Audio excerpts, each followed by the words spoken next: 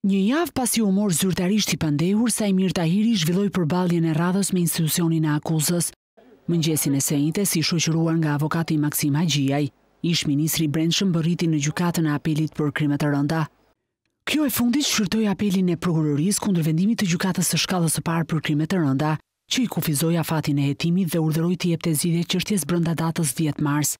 Ish-ministri nuk preferoi të bënte komente, ndërsa avokati Maksim Haxhiaj deklaroi se prokuroria është kontradiktore, pasi ndërsa dosja është dërguar për gjykim, në seancë gjyqësore në apel ajo kërkoi kohë për vijimin e hetimeve.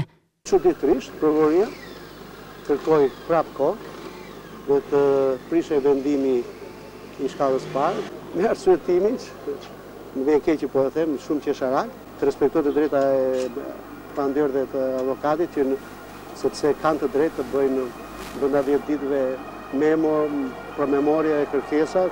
Brenda pak ditësh gjykatësi paraprak pritet të vendosë nëse do ta kalojë për gjykim çështjen Tahiri, apo do ta pushojë atë. Mbrojtësi ligjor tha se do të kërkojnë pushimin e çështjes, me argumentin se nuk ka asnjë provë që mund ta implikojë ish-ministrin në ndonjë vepër të mundshme penale. Është një material që nuk ka asnjë bazë ku mbështetet kërkesa e prokurorisë, qoftë për ngritjen e akuzës, qoftë edhe për dërgimin e çështjes në gjyq.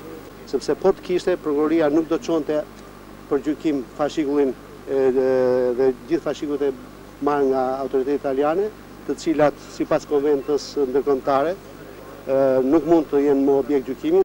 Avokati i Tahirit paralajmëroi kallëzim penal për prokurorët e çështjes. pasi sipas tij në kundërshtim me ligjin, kanë nxjerrë në media disa akte të dosjes. E para që i kanë nxjerrë këto akte dhe e dyta që i kanë nxjerrë të deformuara për të përgatitur, parapërgatitur paaftësinë e tyre. Ish-ministri Tahiri akuzohet se në bashkëpunim me tre ish-zyrtarët e Policisë së Vlorës, Jaeld Çela, Sokol Bode e Gjergj Kohila, ka favorizuar grupin kriminal Habilaj në trafikun e drogës nga Shqipëria drejt Italisë.